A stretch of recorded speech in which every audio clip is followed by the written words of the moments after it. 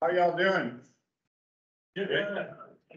Thanks for coming out. This is like pretty impressive. We're really psyched to have this many people who are interested in engaging in restoration anacondas. So, um, yeah, so thank you. I know there's plenty other things somebody could do on a spring, spring evening. But, um, I'm Ray Vinkey. I'm a scientist for the Natural Resource Damage Program. I'm based in Butte, uh, work in the Upper Clark Fork and Anaconda. Um, Doug Martin's here. He's the chief of program in the back of the room there. Um, introduce you to a couple other folks who are working with us. Uh, Pedro Marques, please stand up. Pedro's working with us. He'll be working with us in some degree of the revegetation. Uh, Carl Hamming is here from the county. Carl somewhere. There he is, the tallest person in the room.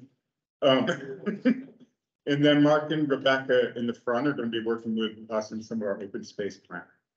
So, um, but yeah, really appreciate everybody being here. So I'm gonna be talking to, we're gonna talk to you about a potential amendment to the Anaconda Uplands Restoration Plan. That's the plan that's guided work that the Natural Resource Damage Program has done so far on Mount Haggin and Stucky Ridge. Um, we now have the opportunity to allocate some funds and specifically work on uh, county lands in Anaconda Deer Lodge County. And we're gonna do that through an amendment to this restoration plan, which has guided our since two thousand eight. So, um, so with that, I'll, I'll start going. I did want to say, I don't mind interruptions. In fact, sometimes they're a good thing to, you know, just collect ourselves and make it more of a discussion. So, um, feel free as we go along, if you've got any questions or I'm not clear enough, just throw something out. Joe, Housekeeping, oh yeah, thank you. down for all uh. If, if God, there, that's, uh, the light will come. Yes. And other housekeeping, um, did everybody sign in? Please do. Okay, great. Um, any other housekeeping? Was there something else? I think that's it. Um. Okay, so with that, I will give you guys some background about where we're going and we can talk. So this is a meeting, not just for those of us who are sitting here in the room, but actually there are participants online as well.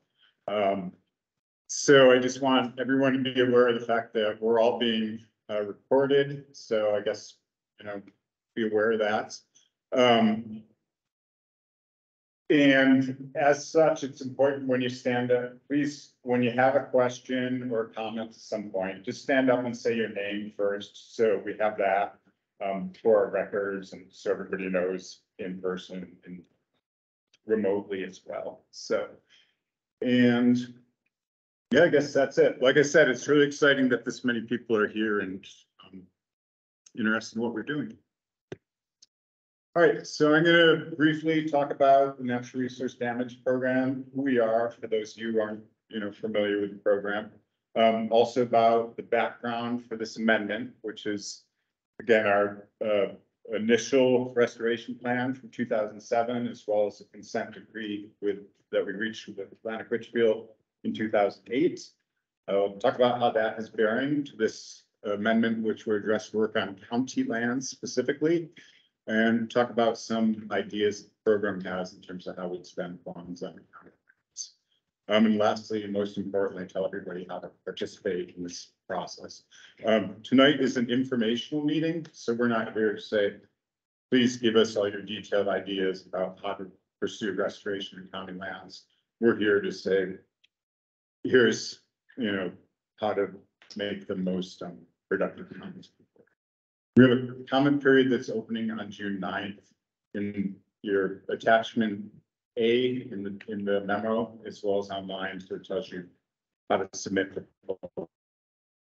proposals, but I'm getting a little myself, I'll just get into the program here.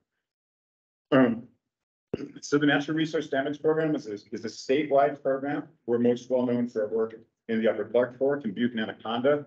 Um, basically, our job is when there, when there are releases of hazardous materials from industry into the environment, if there are damages that proved, our job is to recover, uh, funds for those injuries, and then use those funds to restore, replace, rehabilitate, or acquire equivalent resources, because those that were damaged. Um, so. And so we now have sites, actually a new site in Libby and into the northwest and as far east as, as Glendive. So we have fourteen sites in the state of Montana. Um, they're in various, some of those are places where we're already pursuing restoration. Others are sites uh, where we're, our work is limited to monitoring, excuse me, and we also have some new, new claims.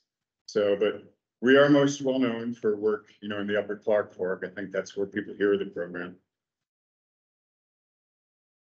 Uh, some important work that we've done in Anaconda. I guess, um, actually, I've done a lot of projects, but one is the natural resource damage program paid largely for, uh, new water system in Anaconda. Um, uh, also, actually, the Stuart Mill Bay campground was purchased entirely with natural resource damage program funds. Uh, the WMAs, Garrity Mountain, Blue Eyed Nellie, Stucky Ridge, those were largely paid with natural resource damage program funds. So, um, we've been working in restoration in, in this area for, well, since almost twenty years.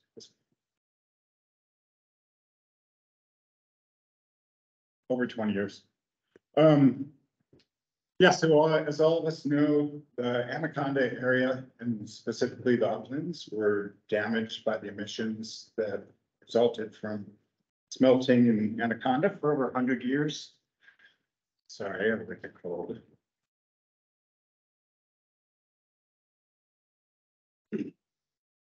Okay, so smelting over hundred years resulted in aerial transmission of pollutants, you know, not just immediately to Anaconda, but initially in the Deer Lodge Valley. Ultimately into the, into the big hole, there were damages over hundreds of miles. Uh, The, and so those, that was as a result of the emissions the smelters. There was deposition of uh, copper, arsenic, cadmium, zinc that resulted in uh, in some cases, landscapes that were completely denuded of vegetation. As a result, um, the program pursued a first an injury assessment uh, to document what the, what the damages were in the smelter. And we pursued a settlement for um, gross damages to eighteen square miles uh, that were on the smelter on Stucky Hill, just to cross on the north side of town. Um, in the Smelter Hill uplands, we call it, so around the smelter, smelter proper, and also Mount Haggin, where we identified as damaged. areas. Um, and in those areas, there was significant injury to vegetation, soil, wildlife, all those compromised, um, the community's opportunity to recreate in, in wildlands that were impacted, as well as, of course, other wildlife and plants themselves. Um, so the state did pursue the settlement with the Atlantic Richfield Company. And in anticipation of that settlement, we prepared a restoration plan in two thousand seven. That's been our, our guiding document so far. Um, that's what we're gonna be talking about amending to include provisions for working specifically on council. units. Uh, in two thousand eight, we did, uh, reach a settlement with Atlantic Richfield Company for uh, thirteen point three million dollars. Uh, under that settlement, we committed, uh, the natural resource damage program to do remediation on Stucky Ridge, so four hundred and eighty acres of DNRC parcels there, as well as, uh, state lands on Mount Baker. Uh, that's not typical of NRDP. Usually we focus on restoration of natural resources, so that's after the cleanup has occurred. We then focus on uh, restoring lands to their condition before they were initially damaged, so. Um, okay, where are we going? So yes, so there's, there was a paragraph essentially in the original restoration plan that allowed for expenditure up to four million dollars in county lands once the state, once NRDP had met our obligations for cleanup on Mount Haggin and Stucky Ridge. Uh, just this spring, as of April fourth, the EPA certified that NRDP actually had successfully completed remediation on, on Stucky and Mount Haggin. So that's our trigger for why we showed up here today, is because the county's really excited, all the citizens that I've talked to in the program, uh, to get to work on county lands. So we're here to inform folks of the opportunity to guide that work and provide some more background. Um, one thing that's important to know is that Atlantic Richfield Company is responsible for remediation on county lands. It's not their natural resource damage program. So we did take, we did do the remediation on Stucky Ridge, Mount Haggin. We're going to continue to pursue restoration actions on, on, uh, Mount Haggin and throughout the injured area, but the remediation, the cleanup of um, hazardous materials that's been completed on Stucky and Haggin. Any questions? Let me give myself a pause and see. Okay, anything? All right.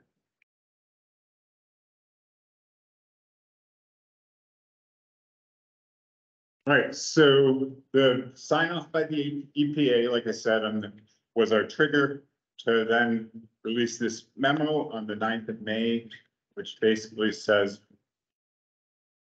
we've got four million dollars, work on county lands. Here's the background and in attachment A to that document, uh, you have it in your hand, it, it's, you know, outlines how to make um, offer conceptual proposals on work that NRDP could do in concert with the county. Um, this map, fortunately, it's also in your handout, but it shows the suite of lands that we currently envision as being uh, places where we could spend these, these funds. And they include, uh, the yellow lands, which are existing, uh, county lands. As well as, uh, the purple lands. There's hundred and sixty acres to the south and west of the courthouse shown there. That's the A hill. So that's currently privately held, held. Uh, but we, there's a fair chance if approved by the governor's office and this amendment proceeds um, as planned, the A, the A hill will be purchased uh, by the county with funds for natural resource damage. Um, so that's this, you know, purple wedge here, A. And then the rest of the purple are lands that Anaconda Deer Lodge County is in discussion with British Petroleum as um, lands that could ultimately come the county. So that's the sort of suite of lands that we're considering uh, being appropriate for expenditure of this up to four million Um, we've identified three main project types that would occur. Um, and they are revegetation and ecological restoration. Pedro's gonna talk to you a little bit about some of the work they've done on Mount Haggin that falls in that category. Um, also potential lands acquisitions or acquisition of easements. As I mentioned, Garrity, Blue Eyed Nellie and Stucky are places where um, natural resource damage program has used funds before. Um, from another restoration. And then I know a number of you are interested in recreational planning and development. That's something we're also um, entertaining as a potential restoration opportunity. Deer Lodge Community. So along those lines, we have, we have two also concurrent planning processes that are gonna inform uh, the amendment that we prepare this fall. So first one is that uh, Anaconda Deer Lodge County has hired SCJ Alliance, they're a par- private uh, landscape architecture firm to work on open space planning on county lands. Uh, and as part of that process to examine potential opportunities for trails development. So, and also, um, Pedro with the Big Hole Watershed Committee is working with us to identify opportunities uh, to pursue some ecological restoration, including revegetation that would go above and beyond what's accomplished by remedy.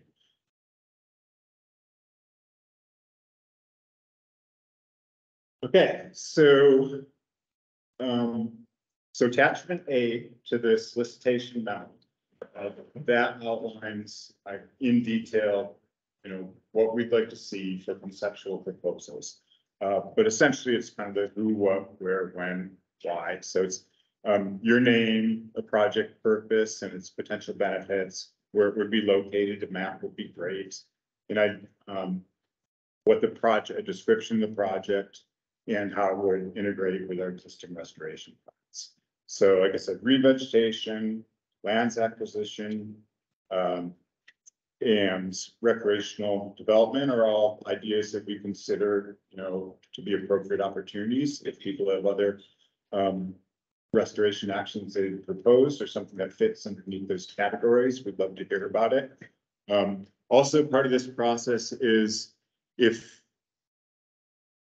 uh, if there are any potential adverse impacts to the human or natural environment that people think may occur as a result of um, these, this work, then let us know. That's um, as part of the Montana Environmental uh, Policy Act, it's important that we scope any potential damages or impacts, adverse impacts to the environment. Um, sorry, this is a little bigger, but this is our this is our schedule for this, this anaconda amendment to the uplands restoration plan. Um, you know, where we're at now is May twenty-fourth, so we're here to, you know, just inform everybody of the opportunity and guide you in making, offering any conceptual proposals. Um, at the June 9th, that's a key date, that's when we'd like delivered, um, either through mail or email actual proposals, you know, as much as well fleshed out as people can. I mean, the truth is, you know, everybody doesn't have a day to spend preparing a proposal for NRDP as far as what's gonna be done on land. So, you know, as, as much information as you can provide, and that provides us a starting place to explore projects. Any projects, proposals that come in the door, we will give them full consideration, the more detail, the better. Um. But anyway, we under, we understand that. The level of specificity will depend on the level of folks' interest and time and experience working with the program. Uh, let's see, so this summer, again, uh. Open space planning will occur as well as more sort of examination of opportunities to do additional revegetation in Anaconda. Uh, and this fall, we'll use uh, that information to build the amendment itself. So as, as well as, you know, the public inputs here. So basically, NRDP will take everything that we get from Pedro and Mark in terms of, you know, what they envision, um, their work shows or opportunities for open space conservation and for revegetation.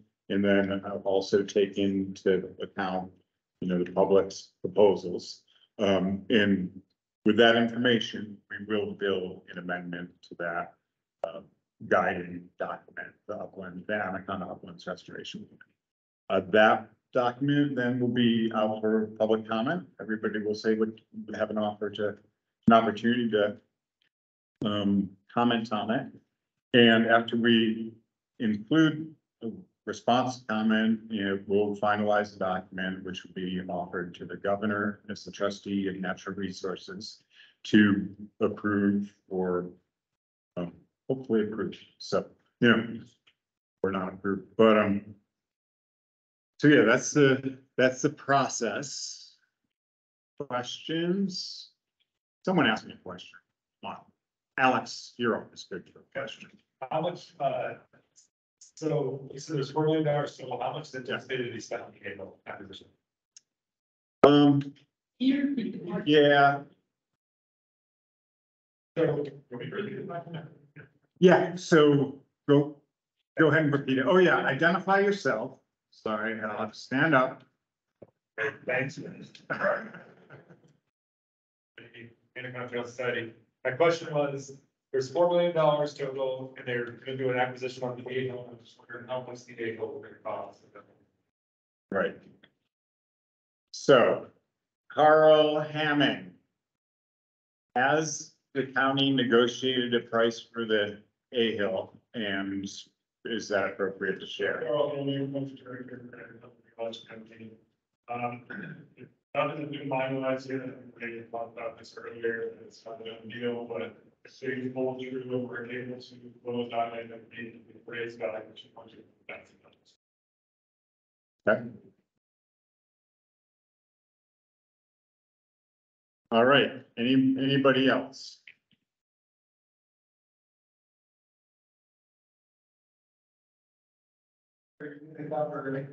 Yeah, please identify yourself, for those online. And I was just wondering, are you going to higher than the rankings those? Yes. Um, not in detail, but if you would grab. So we have legal and technical criteria that all proposals we need to meet. Things like, is it duplicative of normal government function? NRDP is not gonna pay for something that, you know, gonna be expecting. does. Is it a good, you know, cost, um, benefit analysis? Um, how feasible a project is, you know, how well do they fit with their other restoration plans? So there's. Oh, not quite a dozen of those, but they are listed in the attachment A to that. To what the criteria are that we like. I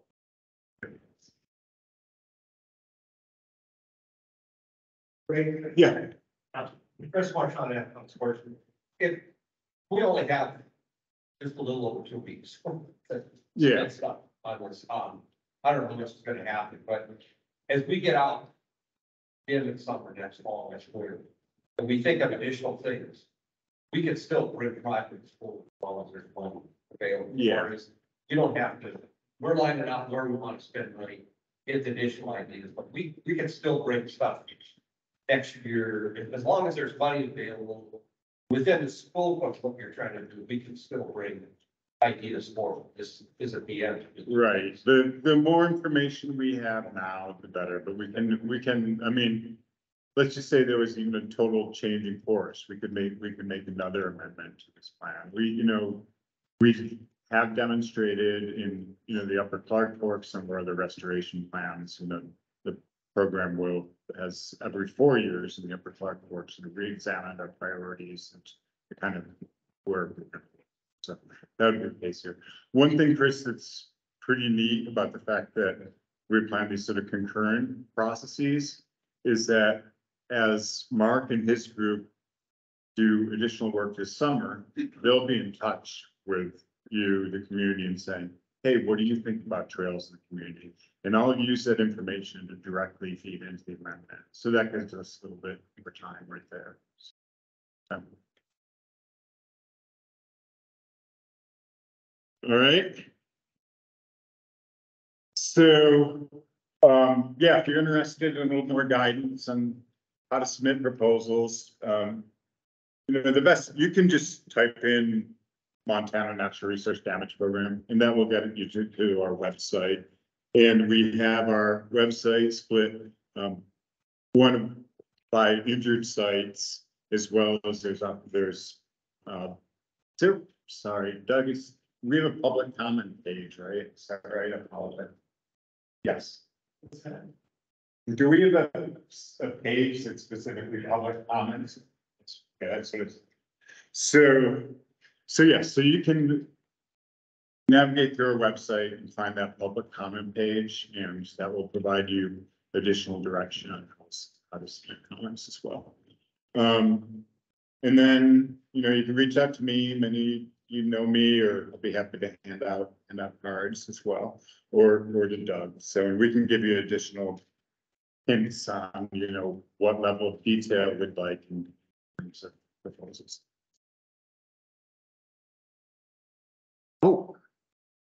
I'm up. That's it. Pedro's up. Okay, so, so Pedro works, well, he'll tell us, uh, for the Big Hole Watershed Committee. He's done a ton of work on Mount Haggin with the Natural Resource Damage Program that, you know, is, um, well, contributed to the delisting of that one. uh, The certification that, uh, remediation had been, been completed on Mount Haggin.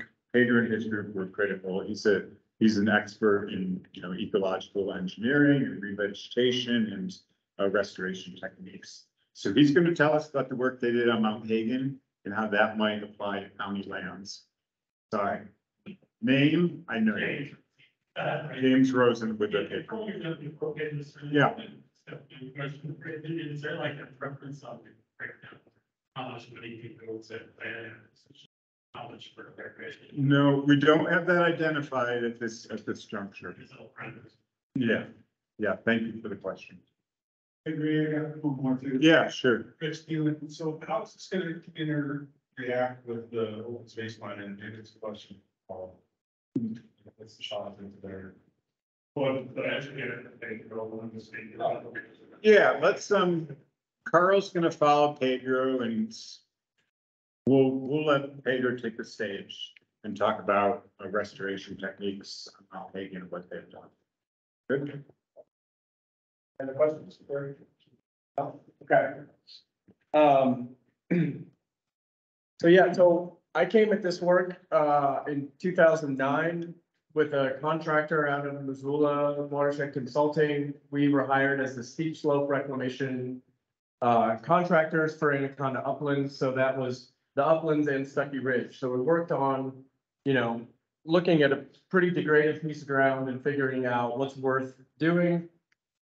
Do it, you know, for the amount of money that's available, um, and basically restore ecological processes and vegetation communities. So we have a lot of expertise in that. Um, y'all might be asking, like, well, big holes like on the other side, and drains to the other ocean. Um, when I moved over to the watershed committee, I brought project work as a consultant to the committee. They said, you should start doing this in-house.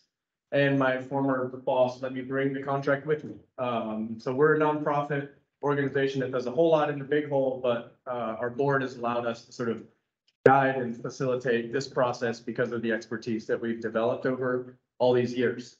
Um, part of the reason there's four million bucks for Anaconda Deer County is because I didn't charge enough for ten years on the other work. Just kidding.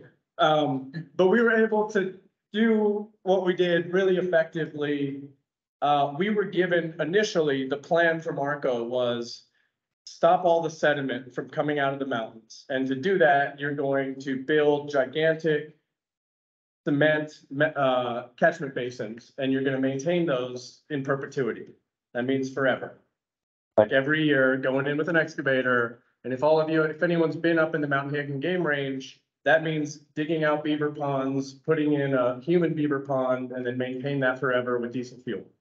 That was not palatable to FWP, so it took us a long time to sort of come up with a set of techniques that is better than that. That was proposed by Arco.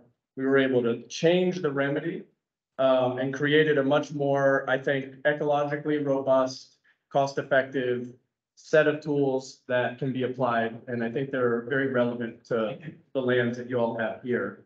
Um, the other thing they told us, Arco said we had to do was plant four hundred fifty stems an acre. So for many, many years, I sent many, many very well taken care of nursery plants to their death on Stucky Ridge and on like god awful slopes in Mount Haggin. Um, we've learned a lot in that process. There are still many, many plants living and thriving, and you can see them when you look over at Stucky Ridge.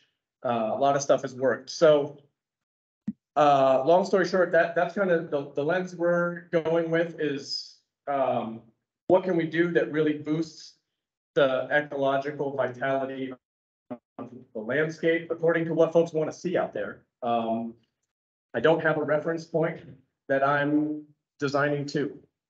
Right? I don't have like a period of time in my mind that is when this place was the way it should be.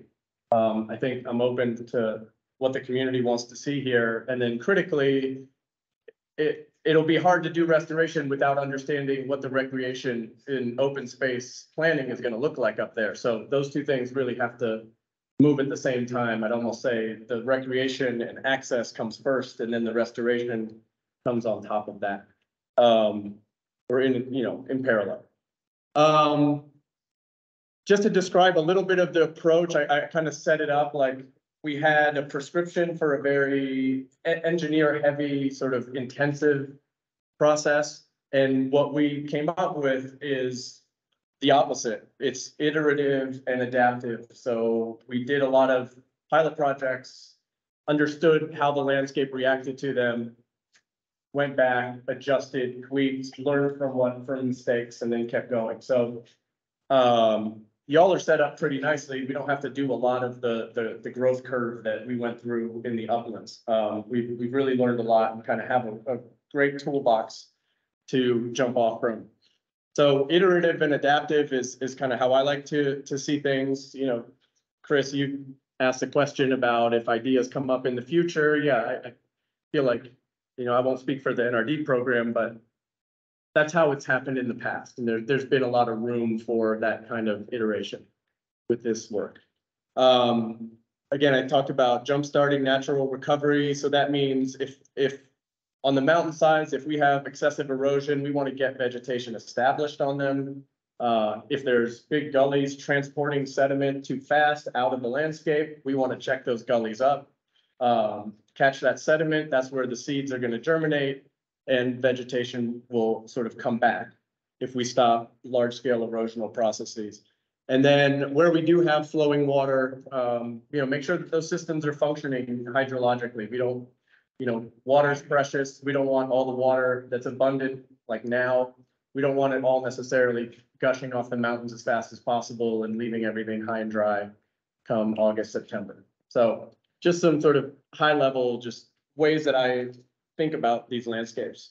Um, and then the other considerations really, uh, that's, that's maybe the, the, the big one. Um, as I walked here, I, I've been kind of looking a little bit at the ANC hills over the years. Um, there's some clear points where motorized access, motorized recreation is taking place. Um, you know, as decisions are made about what's gonna be allowed where, we'll know what's left to restore. Like, I don't wanna go in, for example, somewhere where folks are gonna be riding dirt bikes and try to like restore a hillside if someone's just gonna be driving their dirt bike right over it every year, right? That'd be a waste of time and effort. So that gives you some kind of sense on how this is gonna go, at least from our standpoint. Um, and then, yeah, there's lots of questions along the way about, uh, biodiversity, what types of plants, what types of communities.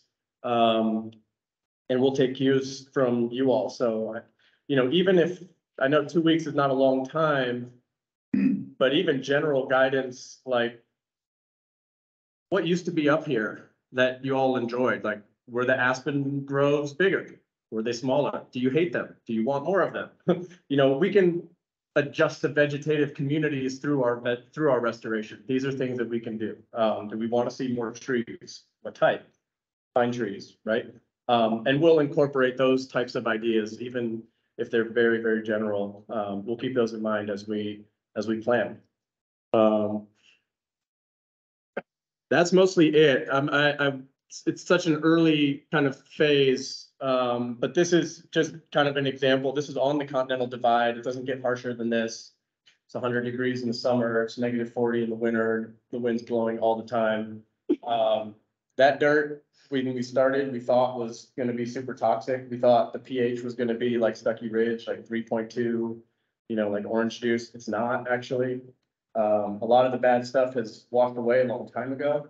So it's really just physical factors and nutrient limitations were keeping vegetation from growing on those hills. And we've kind of cracked that code a little bit to figure out how to make that happen. So um, I'll just sort of leave you with that. That's just an example of what, what we've been able to pull off. And, and there's similar types of ground up here um, that we'd be looking at. Getting uh, self-perpetuating native vegetation is the goal. Unless everyone in the room says, no, we need some sort of non-native plant and that's what you want, and then that might be a problem, but, you know, y'all are driving. Any questions? Yeah. Are we going to be any considerations for fire? In landscaping, with the proliferation of fires in the west and climate change and so many vehicles, so there, any ideas of that being consideration? Um, so I, I won't speak for the county or the NRD program on that. I will say our work in the big hole. We have a lot of, you know, ranchers and, and landowners in the big hole are concerned about fires. And there is documented pretty clear that the tree line has been creeping down the mountainsides and down the hills and are existing way closer to where people live than it ever used to. And we do, um, a lot of restoration type projects that does try to move that tree line back up and remove conifers. Uh, to reduce the fire risk and things like that. Um, aspen and conifer behave very differently in regards to fire. Um, you know, ecologically speaking, I think aspen groves are, are more resilient to fire and, and are an indication that you've got more available water and last I checked, water doesn't burn, so. That's, you know, that's, that's certainly something, an important consideration and things that should be put in, in some of your all's comments, if that's something to worry about.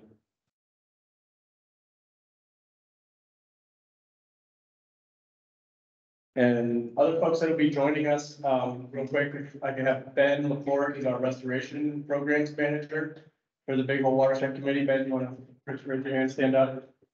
Um, he took over my job when I became the director, and Allison Allen is a conservation fellow with us from uh, the Montana Conservation Corps, will be with us from May to October and helping out, so that's kind of our team from the Big Hole side.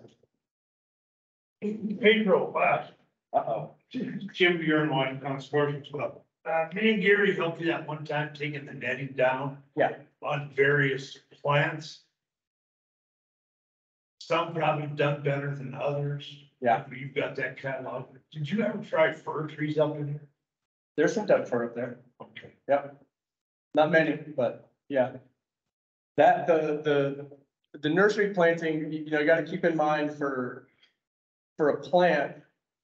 At the end of the day, we were somewhere in the ballpark of seventy dollars per plant installed. Which is, which gets expensive.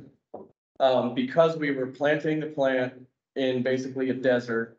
We were putting a little nutrient pack with every tree.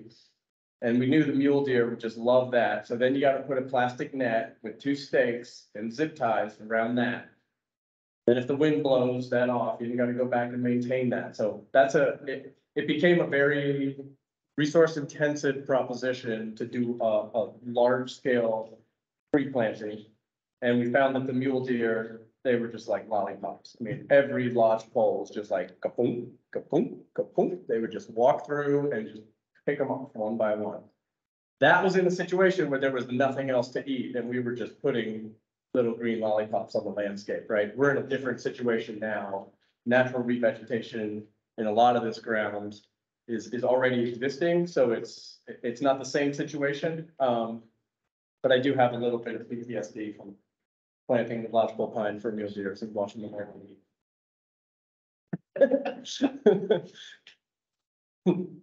It could happen, I mean, probably won't. Not like, not like it was out there, I mean, it was really.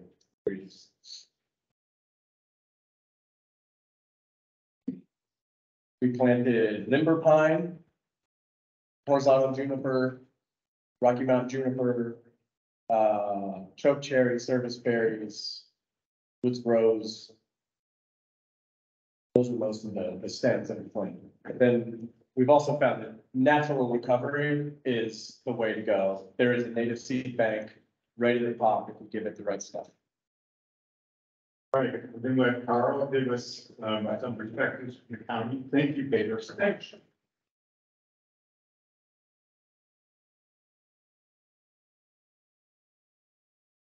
Uh, thanks Pedro, thanks Ray. Uh, so again, I'm Carl Hamming, uh, from the planning department for County, Bureau County. Um, it's already been touched upon a bit this evening. Uh, the county recently hired SCJ Alliance. We've got two members of that crew here in the front. Um, and so they are gonna be assisting the county this summer with this open lands planning effort. And so what exactly that's going to entail is something that, uh, we're still trying to wrap our heads around, quite frankly. As Ray showed in that earlier map, the county is potentially situated to acquire quite a bit more acres from Atlantic Richfield. And so the first thing we really want to do is wrap our heads around what is the condition of the property? Um, you know, we know the C Hill, the A Hill, they've got a number of trails on them, as Pedro talked about. I mean, you can see motorized use there, you know, which is great and exciting when it's done right. Unfortunately, we have some places where we see a lot of stormwater runoff and uh, erosion issues. And so we want to just know the status of the lands that we currently own and then maybe we'll, we'll own, uh, hopefully in the near, near-ish future. Um, thanks, Ray. And so SCJ Alliance, they're gonna help the county just really do this inventory of what we've got, what's working, what's not working, where are trails in existence, hiking, biking, motorized, non-motorized, equestrian, whatever, uh, just so we can see what people are doing on the land right now, and like I said, what's working, what's not working.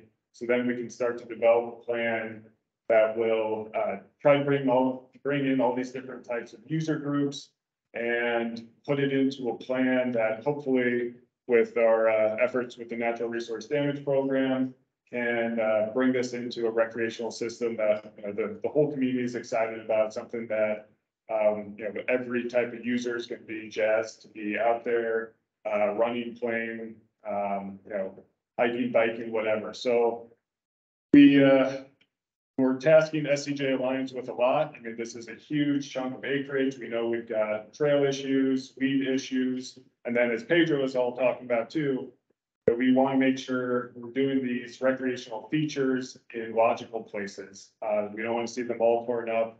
Um, you know, the, or to see the restoration torn up by recreation or recreation get in the way of, you know, important ecological restoration projects. So trying to marry these two very different but important, uh, subjects together. So, um, you know, we're gonna have a lot of communication between the three of us, SCJ Alliance, Pedro. And one thing that really want to emphasize tonight, uh, especially for the folks who signed in, you know, we're gonna be pushing out surveys, we're gonna have some stakeholder meetings, we want to hear ideas from you. Chris, you talked about it earlier that, you know, not to uh, take away from the deadline from the natural resource damage program, but if you have further ideas with especially the open lands planning effort, you know, those are things that we can fold in this summer into, uh, this coming fall, that we, you know, really want to have, you know, all these ideas thrown about. And some won't be eligible for, uh, the NRDP funding.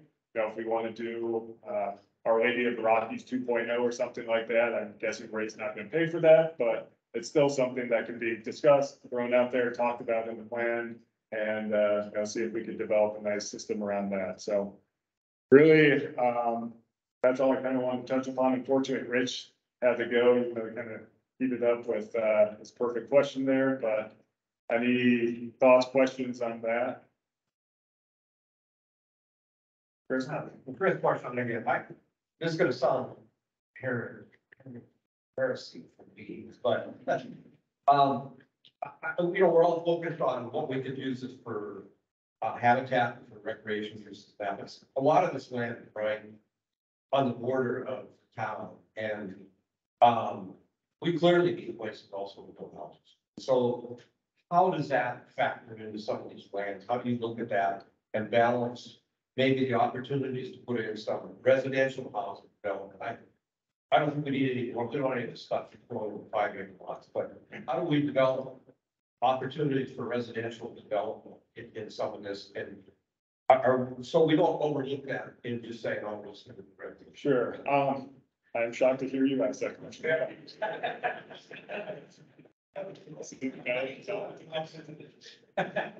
Um, but honestly, the, the simple answer on these lands is there's gonna be land use covenants and restrictions on those properties and acreages that will preclude any sort of residential development or commercial development. And so, I mean, yes, the county is looking around, we're trying to figure out where can we grow, where can we further develop? Where can we run municipal services that make it more logical, efficient connections? But at the end of the day, these lands, C Hill, A Hill, stuff around Smelter Hill, this is not where we want to develop or where we can legally develop. So, Trucks looking, um, and the flip side of that, it would be really helpful if we could see the ownership of the lands around these pieces. So that we don't overlook critical assets that could possibly be acquired now. So can we get a map of sur- what's surrounding this, so we know the ownership of the rest of the property? I think that's a great early task for, uh, Mark here at SCJ Alliance to work on that sort of mapping projects. Yeah. Yeah, the, the data is, it's probably accessible, so we can look it up. And look. So, yeah, I think we're at the point where, I mean, we're just here for, for questions, and information, things. Um. Yeah, so.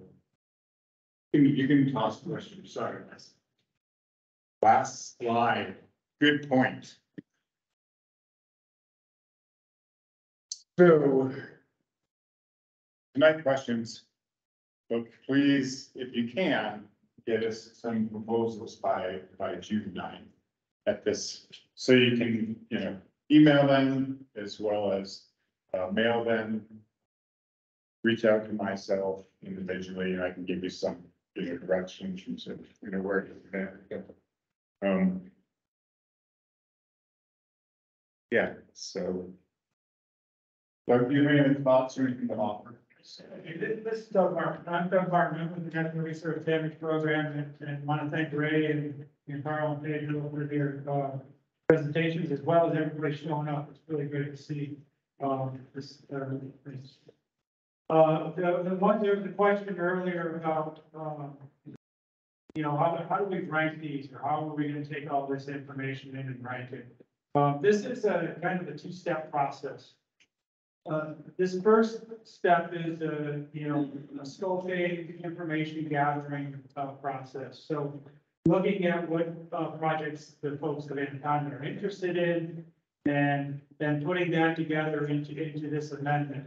Following that is, is another, whole nother public comment period where, you know, to Chris, to get part of your point is, if there's another project later on in the day, um, Yes, that could be inserted in the, in the draft restoration plan or draft amendment stage as well. Um, so it, you know, there, there's several steps to incorporate things in.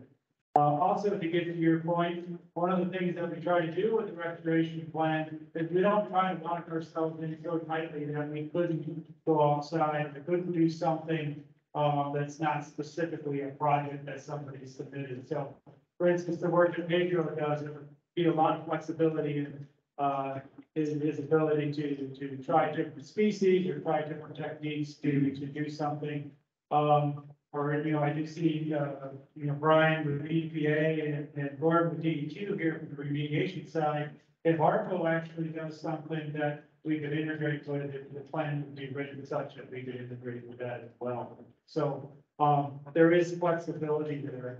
Uh, to get to the point about, um, the, the, how we rank projects, I do want to tell everybody, all of the, the information that, that Ray had up on the screen, uh, there, are all the handouts, all that information is in the handout. If you didn't get one, uh, there are extra ones over there by the, the trees and the sign sheet if, if you want to grab one. And that also provides a lot of information about how we do evaluate and rank projects. Um, under the natural resource damage provisions, uh, under the, the federal law that we actually work under. There are certain criteria that we have to evaluate each project with to make sure it is eligible for the funding that we have received. The funding we received was, as Ray pointed out, was from a lawsuit under the natural resource damage law. And so we have to spend that money per those, per that law, per those requirements of that. And in that, and in that handout, it does list those provisions. It's, you know, technical feasibility, um, what's the cost benefit, the cost effectiveness? How does it, uh, um, uh, for, uh, coordinate with the response action that EPA DEQ are overseeing? you know, we don't want, we wanna make, we wanna make sure that the restoration action doesn't undo a remedy action. Um, and also we become liable for it, so we, we don't wanna go there. So we have to evaluate all of these projects. And from that, they do get ranked. More specifically to, to your question of how we rank, most recreational projects, it's been my experience, I've been with program for a few years. And, uh, recreation projects are ranked by you folks here. Um, very, uh, good recreation projects, uh, get a, get a lot of public support. And, and I know there's several people here that have, uh, worked with the program, and we actually had a grants program. Uh, if it was a good recreation project, there was a lot of public support for that project, and that was rise to the top. Um, so through the public process, the public comment periods, that's how we rank those projects, by taking the input from the public and then, um, moving that forward into the, uh, the amendment that we will be drafting. With that, when the input, is that public input becomes after presented back to us, or is it like that, you know, based on, say, how many matters we get, supported certain types of projects, or what's the definition? So, so the question was, was how, how does that public, uh, how do we integrate or how do we look at that? Is it number of, of, uh, letters of support? Uh, or is that, am I Yeah, yeah. Um, sure, yeah, if, if, if, if we got a thousand letters of support for a trail going across the, the ridge, yeah, that would. We'd say, wow, that's gonna, the cost benefit to that project is going to go way up because what it costs to put there, there's gonna be a lot of use on that project. So there's a higher cost benefit versus a trail, you know, only two people support it and, and not many people support it. And that's the board's voice of, board of June ninth. Uh, no, that, most of, yes, well, that will be considered on June ninth, but most of that public comment on that fence thing will actually be during the draft restoration period in, in the fall that, that, uh, and there will be another public meeting on that draft restoration. plan. And plenty of time to comment.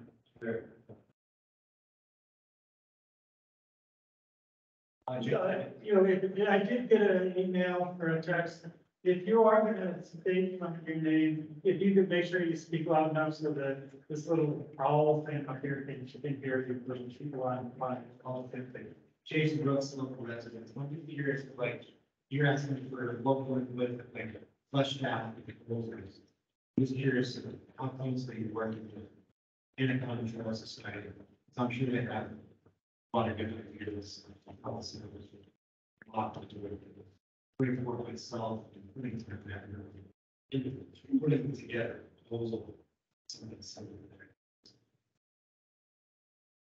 It's a lot of work for So we're just in the beginning phases, right? Like, I mean, it's good that Doug emphasized that.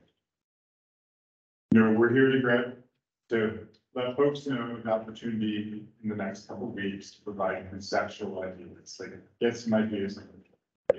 But I think it's really, it is gonna be helpful this summer to work with these other planning efforts.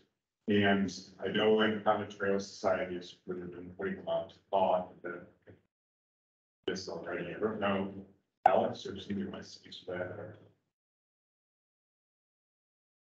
I can speak again a little bit. So Alex, from the Country Trail Society, our president, Rob.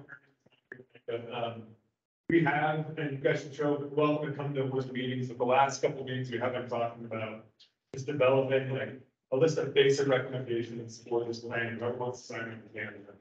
Trailhead spots, some basic like revegetated trail corridors, stuff like that. That's something that we're kind of gonna propose to them as a group, so. That.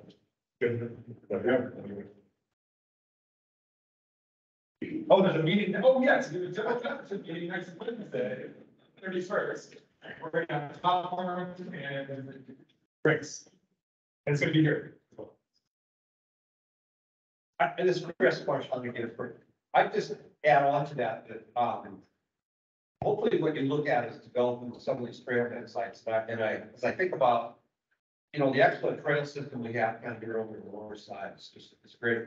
You look at, you go up to Pepper's Dam, you know, that was really, it's nice, it's paved, it's got a loud house there, there's, you know, there's plenty of people use it a lot.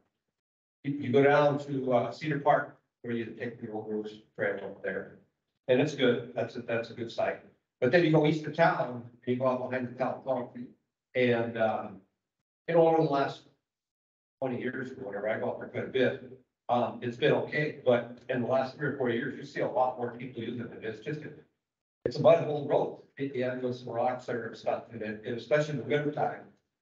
You see the use drop off, part of it's because it's, it's, not plowed and stuff, so but part of it is you get stuck out there real easy when they're blowing and in and stuff, and so. I think as we look at these, um, because a lot of the people that come out here, when I go out there, there's a lot of people that go out there that are not as adept at going out in the mountains and hiking and stuff. They, they- they got, there's somebody from town that's just got a two-wheel drive car, whatever, again. So I think as we go forward, if we get to make sure we develop appropriate sites out there. And I, again, but I would, when I say that, I don't know that we necessarily want to use all the NRD money to develop these things. We've got a job corps center up here that we can use. And, and I think that there are a lot of other monies through FWP and other programs that deal with those trail sites. So when we could go use those monies rather than we could use this NRD money for more in the on-ground stuff, but we don't have other funds outside of PERS that.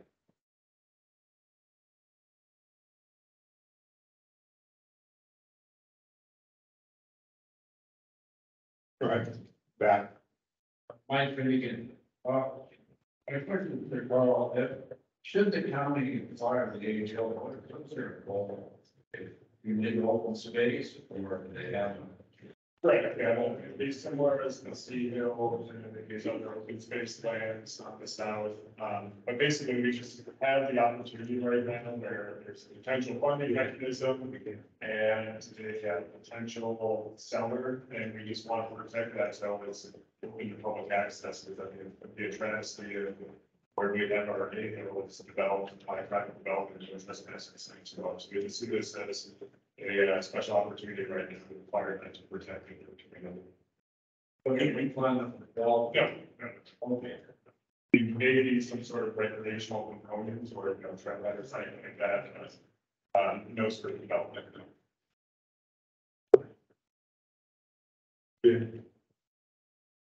So, yeah, go ahead. Um,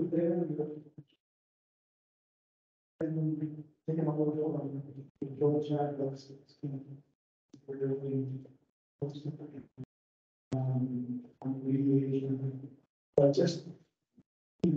Just. Wanted to talk about the.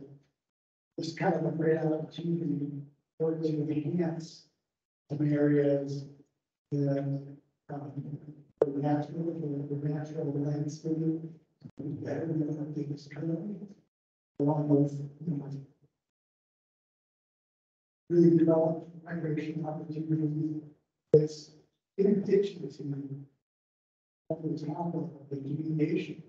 Remediation includes some. Remediation. Firelands. Uplands, and state lands, and lands, and then a lot of uplands have been and indigenous to the county for various counties. Beyond that, had to be done. Vacation, by the national cemetery state park. Not open yet. Going to be something. And, um, then overall. Eventually, the possibility with the, um, with the, um, having the, we have the available. Stop smoking, rails and trails. For the, nation plan. And, uh, and along with.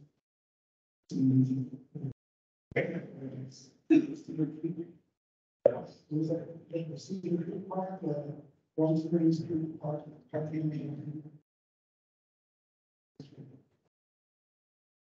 Know, it's, it's kind of, it's kind of great that, uh, in our program has, uh, has.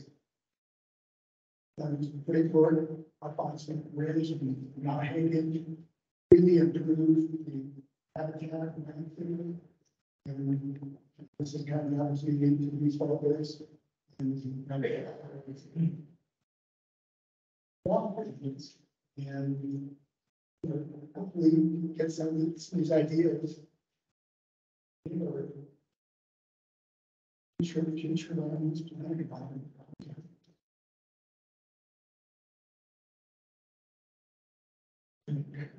So, yeah, we're, we're hearing, and Chris's comment was on Mark as well as, there's, I mean, you know, two weeks obviously isn't a lot of time to present a detailed idea about, where our trails and everything or something. So that's why we have, you know, have Mark and his group, they're gonna be doing an online survey, right?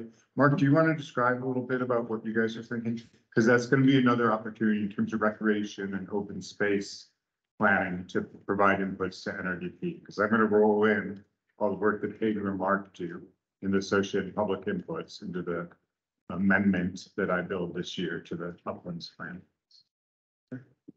Thanks. So, uh, as has been mentioned, I'm Mark Garf with SCJ Alliance. I'm a landscape architect. And I'm joined by Rebecca Rago, who's a landscape designer in my office. And we also have some planners who are gonna help us out in looking at some of these open lands areas and thinking about recreation, how we can, uh, you know, best use them. Um, and also not get in the way of the remediation and the restoration. Um, so part of our public process We'll be reaching out to specific groups like the Sportsman's Group that's here tonight, the Trails Group. Uh, and if there's anyone else here tonight that wants to meet with us, uh, that would be great. Let us know. Um, we'll be doing some stakeholder meetings. Uh, and then eventually we'll be putting together, uh, I think it'll be a pretty comprehensive online survey. That's after we have our, some of our mapping done, and we can show you what we're thinking and gather your feedback on it. So I think that's roughly the public outreach plan, but there's definitely some flexibility. So that's what we'll be doing. Great.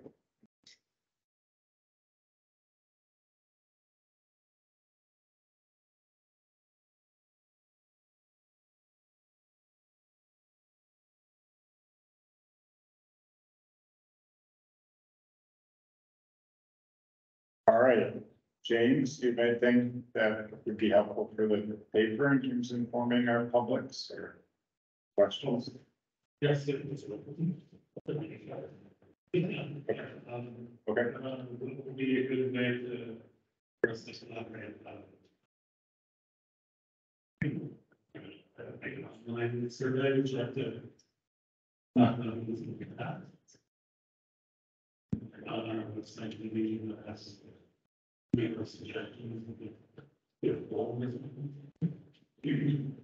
Something I hadn't thought of, and it's a good idea. That's why we have.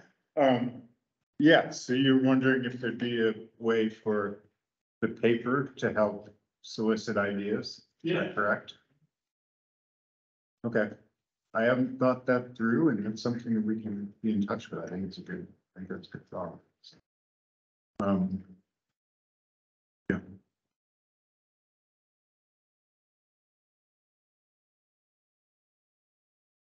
All right, so at least in the, well, I don't, I don't know, do we have anything else? Let's see. Any other questions? Okay, go ahead, Chris. Yeah, What's the feedback? What's the next time? There's some things that could happen over the next few months, but you gotta. Hold another one of these or get some feedback from the public, in three months, six months. yeah, I think You know we're at. Yeah, the next, the next points for input are working with, you know, Carl or with um SCJ Alliance, that group relative to trails work. And then, I mean, honestly, I'm accessible and will incorporate com- comments, you know, generally from the public. I mean, the more we have written proposals, it's really helpful. Um, but we are available to, you know, as we think through some of this, to just a phone call is okay. You know, that will, that will all inform what the decisions we make. And I certainly welcome letters of credit.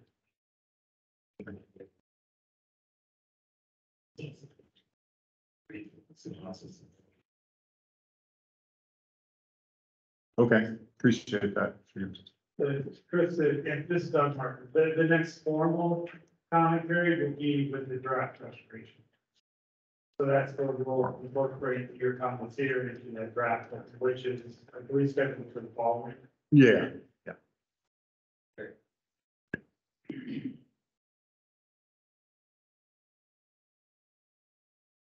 Okay. Anything else? No? Yeah, go ahead, sir. Uh, both the president Okay, It says it's gonna be, uh, filed to the governor for consideration.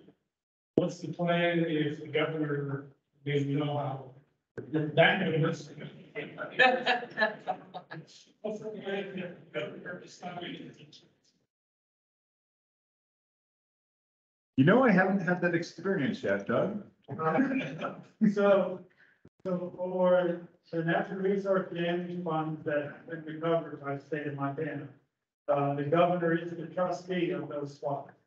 And that being said, the governor does have the final say. Um, I can speak from the twenty plus years experience that I've been with the program, and there's others here that can, can uh, probably back me up that have been with the program or worked with our program for a long time. But the, uh, the process that we go through is very open to the public and all the past administrations, um, and the current administration have listened to the public and what that public has desired for these funds. There are some instances where, um, the, the governor has, has taken action. Um, last administration, Governor Bullock did that and, and moved uh, swiftly to allocate funds to do a large, uh, restoration project within the paving out Bear County. Um, it did still go through a public process, but that was, you know, something that that governor related. So, um, I would suspect, um, and it's been my, uh, experience with this uh, governor, that he has listened, um, to our recommendations and has not made any, he has not made any big changes to any of the restoration plans that we have been, uh, working on. So, um, I would encourage you to, um, have your, your fellow citizens, uh, participate in this program and, and, and let us know, uh, what you would like, because I do believe that, um, what you guys say, there is a lot of weight back in and, and how this, these funds will be spent. I guess I, I can't guarantee you anything, but I can guarantee you that, uh, we will take your comments forward to the, to the governor and let him know that your comments. are- concerns are. Go ahead, Chuck. Just not three, like three years ago, and maybe it's still the same, the landlord had, would be also, that positions also, is that still part of the full chart? That, that is, if the, if the property goes to, uh, Fish Wildlife Department and NRC, in this case, it's going to the, uh, the county of Minnetonka. Um, so I believe I'm correct in saying this would not go to. And go ahead. Chris Marshall, we still have the NRD advisory. Board. Um, so there, so this, this fund, which is associated with a separate settlement, you know, um, the consent decree for the Anaconda Uplands does not have a specific advisory board. So there's an advisory board for funds for Butte Area One, as well as for the Upper Clark Fork Restoration Fund, but this is a separate block, so to speak. So it's not governed by any of those decisions.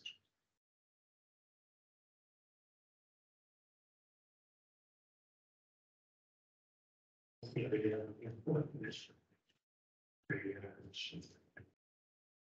right, positions, I think.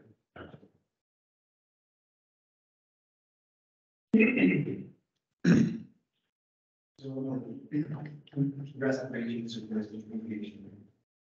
Revegetation and there's erosion and the line. Mediation with the, where that, where that boundary is and where, you know, what you are.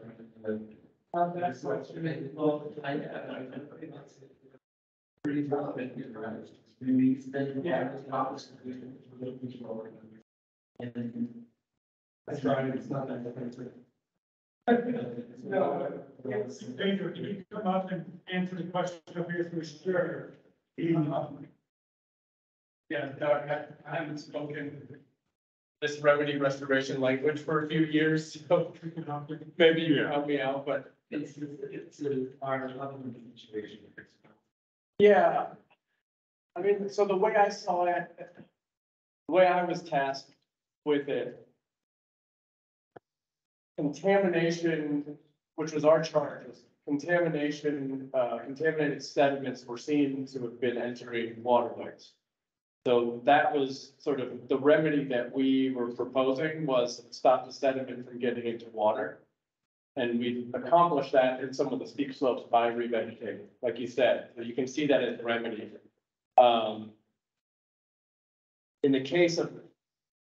It sort of blended very nicely on the game range because their management objectives were also more grassland than conifer for the elk. And so the way we went about revegetating and doing our gully plugs, I feel like we were able to sort of blend the two. Um, so we accomplished the remedy. And we also restored the landscape or, or created a vegetative community that's sort of recovering according to what the land manager wanted to see. Right, so the, the, the specifics of like the game range and wildlife management was always in the back of our mind as we designed the remedy. So in this case, that's what I'm saying, sort of the public use of the ground in my mind, is gonna guide a lot of what the land use of this place is, and that will help inform the techniques that we apply. That makes sense? Um, My next question was regarding the solar streams, it's like a lot like that. Right.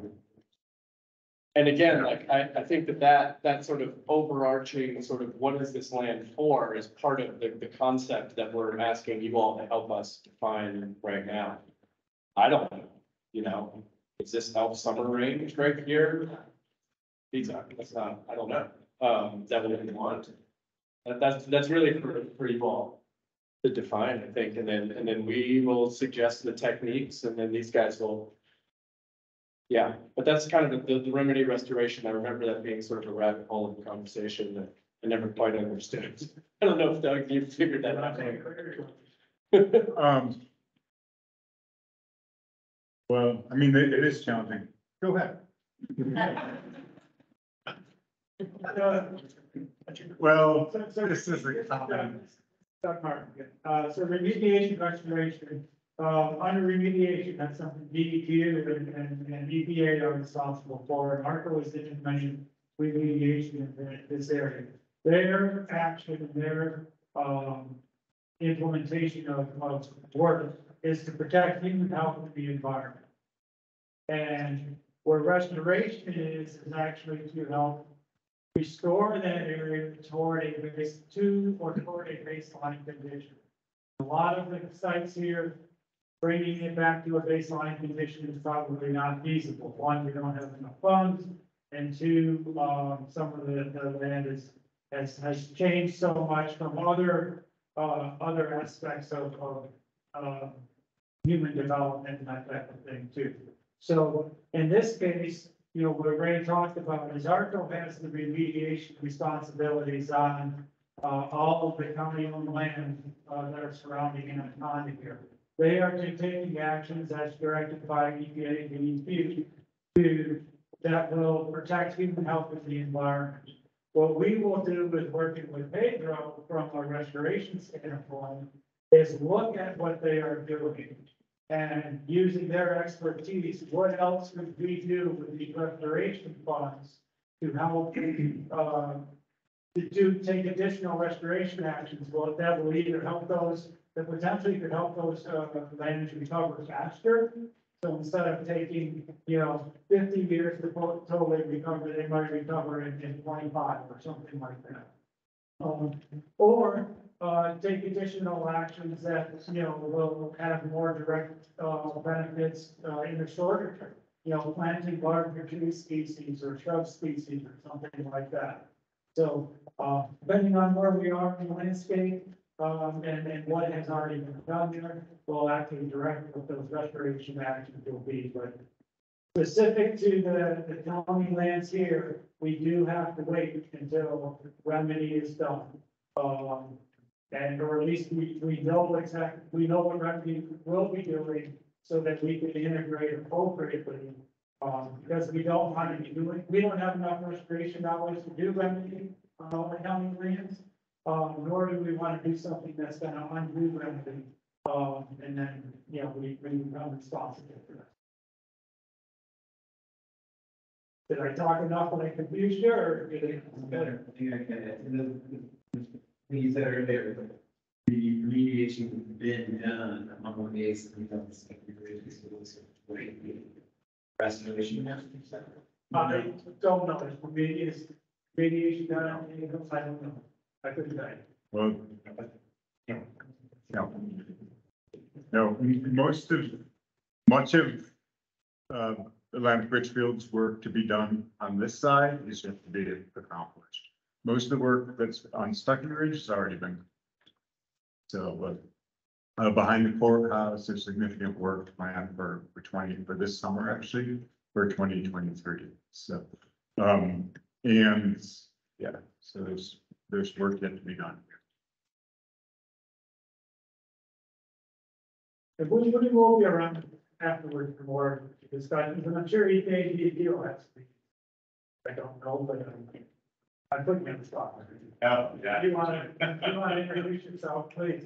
Okay, sure. Yeah, I'm, uh, Brian Wolbar, I'm the, uh, new, uh, EPA project manager for, uh, uh, for the Anaconda, uh, smelter site and, uh, I'm, uh, taking over from the long-term PM, uh, uh, previous, uh, project manager, uh, Charlotte Bowman. Uh, who'll be retiring next month. Uh, you know, there's just been a, uh, site-wide consent decree, as a, bit of a settlement agreement with, uh, ARCO, kind of finalized, uh, some of the, their responsibilities, and plans, uh, for the, uh, completion of the remediation.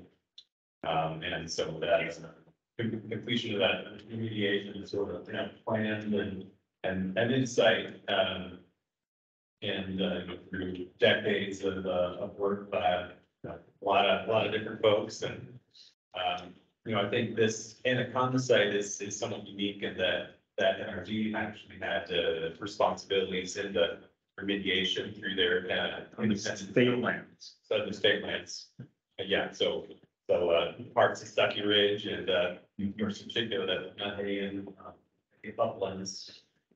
Where their, uh, mediation and, and, uh, and and restoration sort of overlapped. So I think they kind of talked about that, you know, their, uh, their restoration work was also uh, preventing the flow of sediments, so taking these sort of denuded areas and, uh, um, and, and, uh, uh, uh, re, uh, you know, replanting, adding, uh, stopping, uh, sediments from getting into, uh, into, uh, Mill Creek, uh, from Mount Haggin.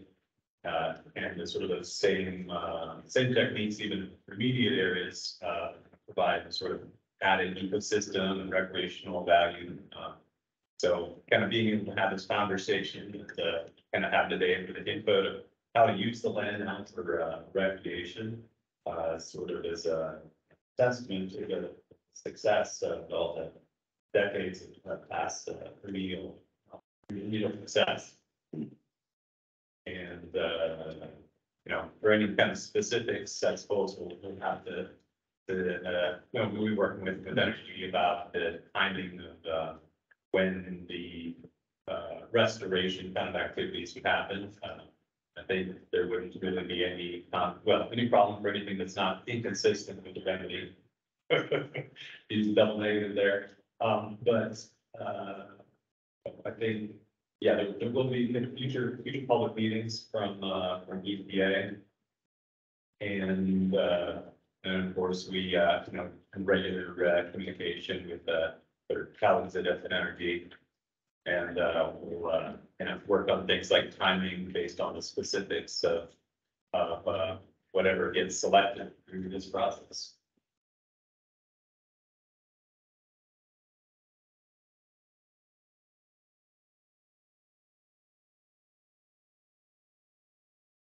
Okay. Carl, anything else from county's end or is everybody? Good over. Into the summer and the fall. So yeah, please do, um.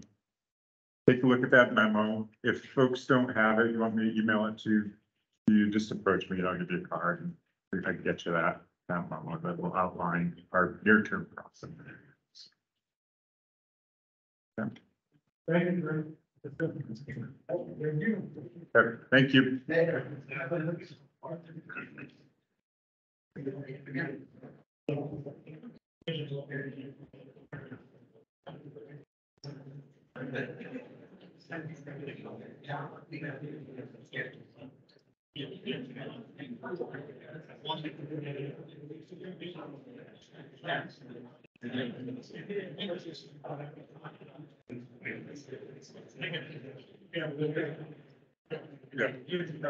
Yeah. It's- okay. No, six of Alright, we're leaving.